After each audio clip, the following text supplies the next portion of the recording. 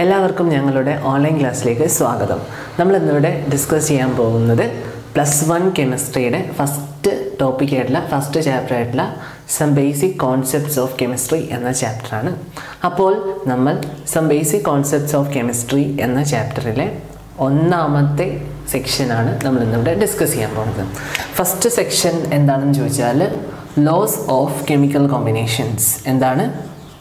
Laws of chemical combinations laws of chemical combinations എന്താണ് laws of chemical combinations നിങ്ങൾ നിങ്ങളുടെ tenth സ്റ്റാൻഡേർഡിലും അതിന് താഴെയുമായിട്ട് നിങ്ങൾ ഒരുപാട് കെമിക്കൽ കോമ്പൗണ്ട് കോമ്പൗണ്ട്സിനെ കുറിച്ചിട്ട് അല്ലെങ്കിൽ കെമിക്കൽ സംയുക്തങ്ങളെ കുറിച്ചിട്ട് പഠിച്ചിട്ടുണ്ടായിരുന്നു. അപ്പോൾ ഒരു കോമ്പൗണ്ട് ഫോം ചെയ്യുമ്പോൾ അല്ലെങ്കിൽ ഒരു കെമിക്കൽ സംയുക്തം ഫോം ചെയ്യുമ്പോൾ അത് ഗവേൺ ചെയ്യുന്ന അത് ഒബേ ചെയ്യുന്ന കുറച്ച് ലോസുകൾ നമുക്ക് പഠിക്കാനുണ്ട്. ചില നിയമങ്ങളെ ബേസ് ചെയ്താണ് ഒരു കോമ്പൗണ്ട് ഉണ്ടാകപ്പെടുന്നത്.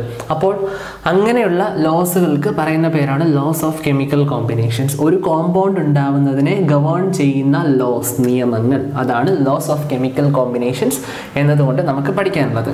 നമ്മുടെ എൻ സി ആർ ഡി ടെക്സ്റ്റിൽ പ്രധാനമായിട്ടും അഞ്ച് നിയമങ്ങളാണ് അഞ്ച് ലോസ് ആണ് നമുക്ക് പഠിക്കാൻ വെച്ചിരിക്കുന്നത്. First one is law of conservation of mass. Law of conservation of conservation of conservation of mass. The second one is law of definite proportion. Definite proportion. The third one is law of multiple proportion law of multiple proportion. The fourth one is gay-lussac law. Gay-lussac law of gaseous volumes. And the final one is the fifth one is avogadro law. Avogadro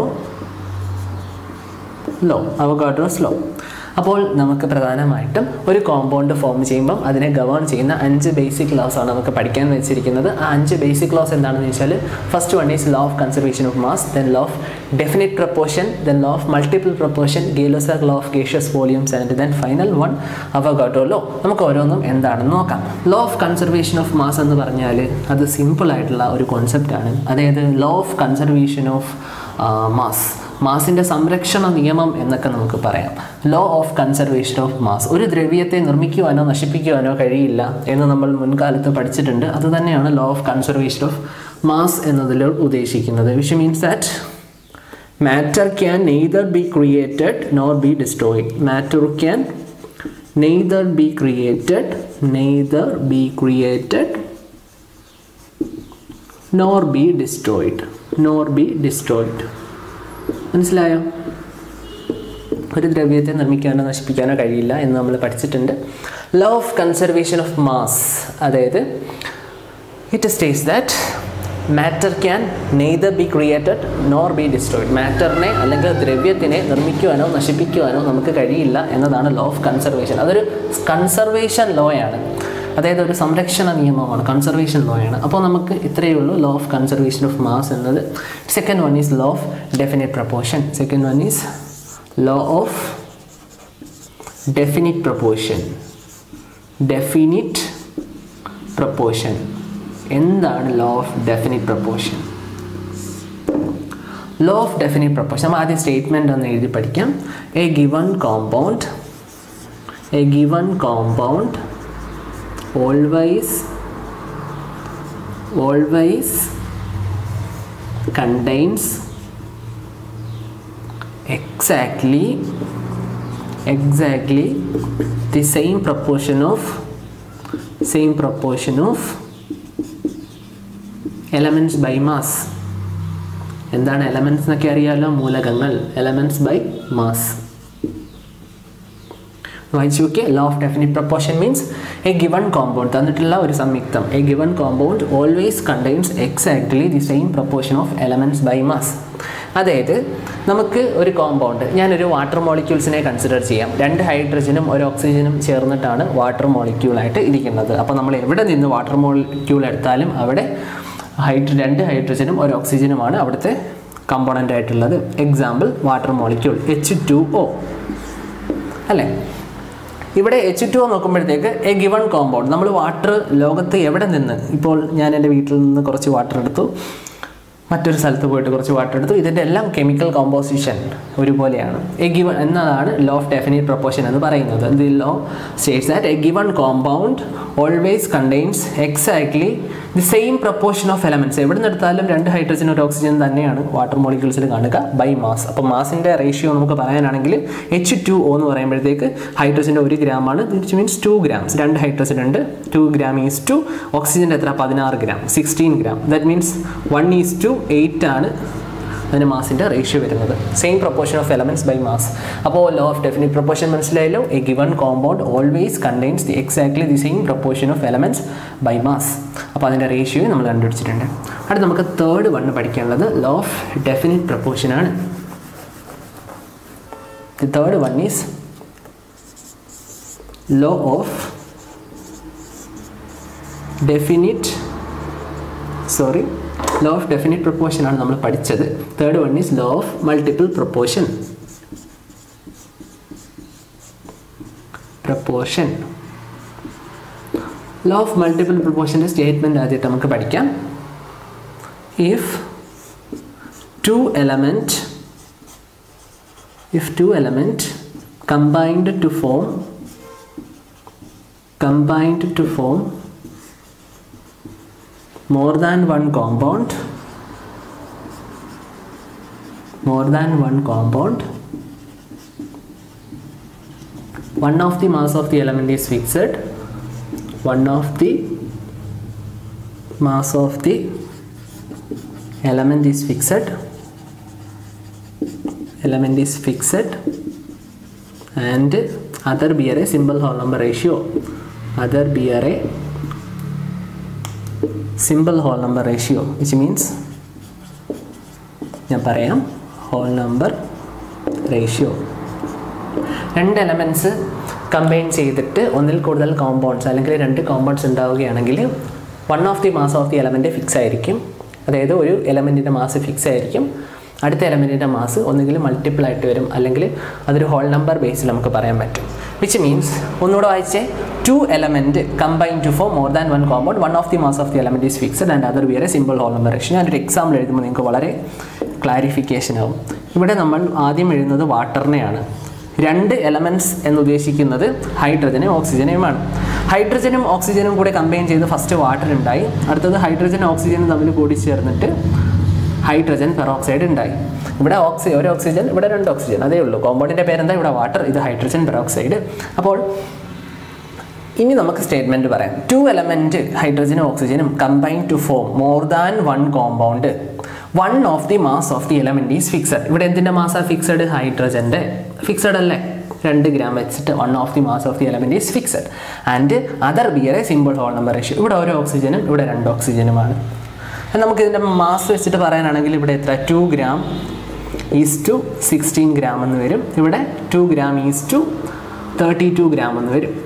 അല്ലേ? എല്ലാവർക്കും അറിയാമല്ലോ. That means one is to eight എന്ന ratio ഇവിടെ നമുക്ക് എത്ര കിട്ടും? One is to thirty ടുവിന്റെ പകുതി എത്ര? വൺ ഈസ് ടു സിക്സ്റ്റീൻ മനസ്സിലായോ? അപ്പോൾ ലോ ഓഫ് മൾട്ടിപ്പിൾ പ്രൊപ്പോഷൻ എന്ന് വെച്ചാൽ when two element combine to form more than one compound അല്ലെങ്കിൽ ടു കോമ്പൗണ്ട് മോർ ദാൻ അല്ല.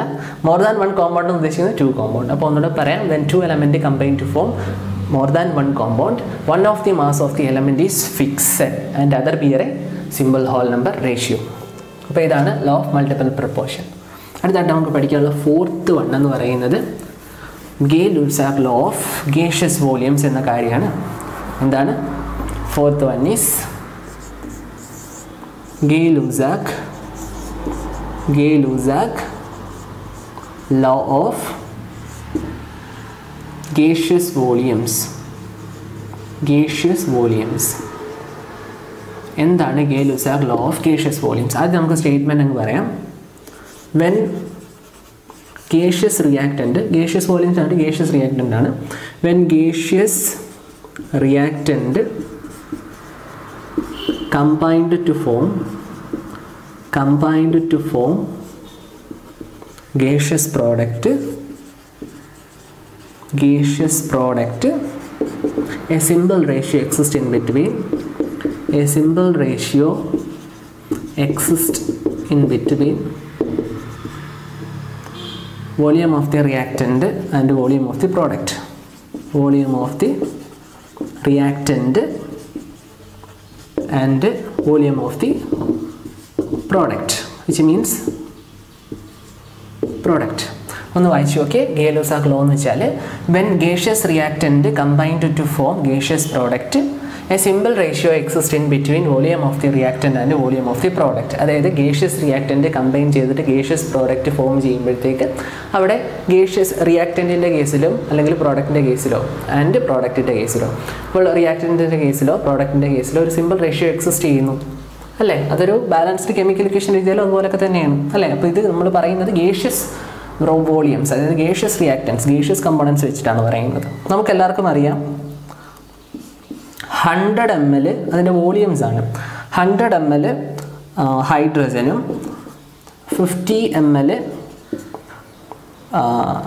ഓക്സിജനും തമ്മിൽ ചേർന്നാൽ എന്തുണ്ടാവും?